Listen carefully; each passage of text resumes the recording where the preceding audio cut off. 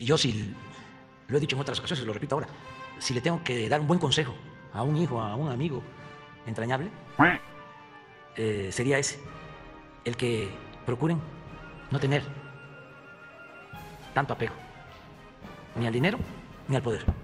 Sea, que se puede ser feliz sin lo material, o teniendo lo básico.